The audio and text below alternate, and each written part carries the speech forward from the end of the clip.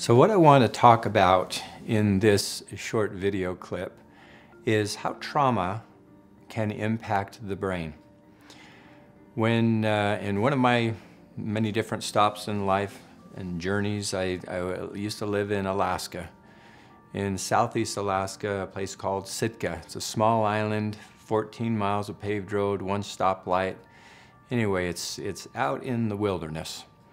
And uh, when I am at retreat with the ladies and doing the five key strategy presentation, I tell a story that um, talks about how the brain, how we're, how we're built to respond to stressful situations and possible traumatic environmental situations that we, that we come across.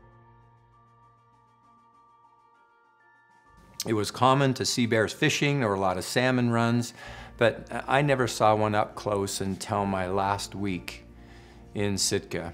And at that time, my family had all moved down south. Everything's considered down south up in Alaska. And uh, I was house sitting for a friend. And uh, I, I was watching a little Yorkshire Terrier walk down to the, to the landing, looked out, and, uh, and there's a little walkway, and then I saw a bear.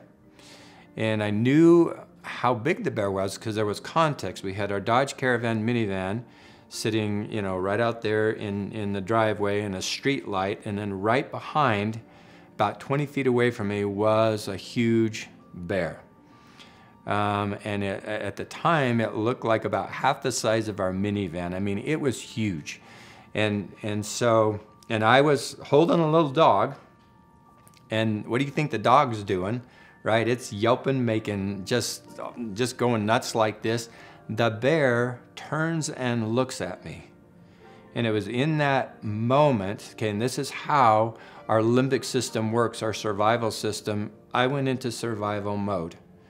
It's like, you know, the bear looked at me, I kind of crouched down and looked at him, wondering what he was going to do and he took a step, just his little paw, or big paw, went forward and, and, and down a little bit.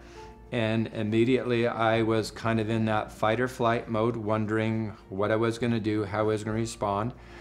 And my first reaction, guess what it was? It was actually to throw the dog uh, to the bear and then turn her. I didn't do that, but, but that was my instinctive reaction to throw the dog and then run up the stairs, slam the door, push the bed against the door, and then and then barricade the the the bed with a dresser against the wall so the bear couldn't get in if it if it started charging. Um, heart was beating uh, really fast.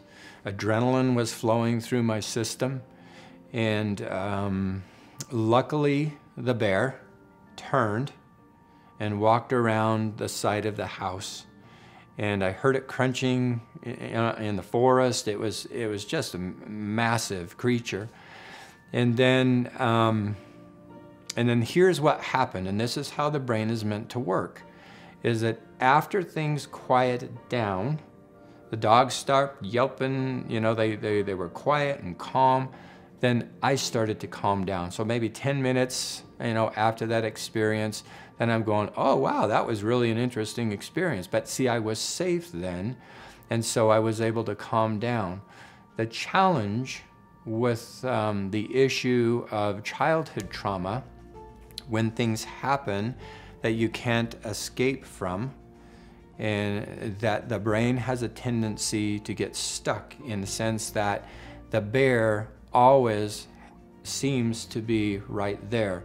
So as survivors try to flourish and thrive in the world, their limbic system, a little place in there called the hippocampus and the amygdala work together and the thalamus, all these little places work together to protect an individual, but because of the experiences that we've had in the past, it can project things in the present moment to make things seem unsafe when actually they are safe that's where the healing process and understanding um, what trauma does to the brain and, and, and the healing process of the five key strategies can do to truly um, help you at a deeper level learning how to surrender to those thoughts and feelings when um, you know something in the environment triggers you.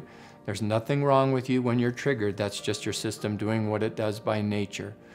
And so when you're triggered, oh, there it is. There's my limbic system because it remembers what happened in the past and it, the brain learns through association. And that's why that we are triggered from the environment from time to time. So that's not the issue at all. There's nothing wrong with you if you're triggered. But the real issue of living an empowered life is what do you do with that trigger? And can you learn certain strategies that can help you deal with a trigger?